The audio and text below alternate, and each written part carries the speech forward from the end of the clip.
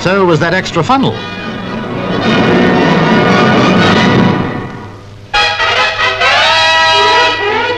It's circus time in New York City, and all the thrills, all the fun that goes with it.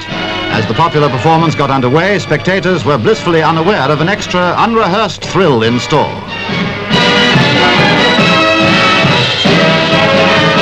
Trouble among the big cats. A lion called Tonto suddenly decides he's tired of being fenced in. He bashes his way out, and you can just imagine how thrilled everybody was as they saw him prowling around.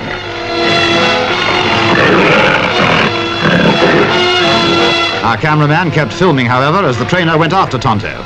After being loose for 10 minutes, the lion was caught and taken away, after a performance that wasn't on the program.